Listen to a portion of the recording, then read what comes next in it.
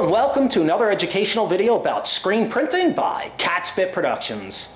Today's video is the follow-up video to the test print, setup test print video we did of the new Catspit freebie shirt.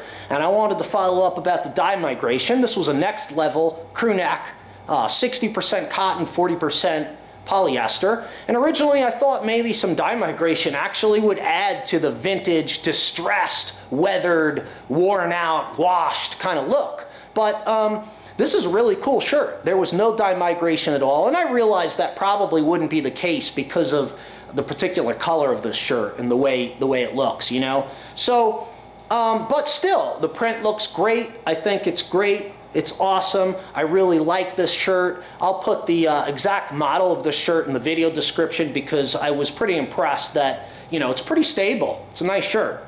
Okay, so today I'm just going to uh, do some printing. We're going to print the back. It's a little bit cold in the shop today, so we'll see how the ink flows, and uh, I'm just going to experiment with some camera shots of the printing for you to enjoy. So enjoy the video, and remember that I sell screen printing equipment supplies at catspitscreenprintsupply.com.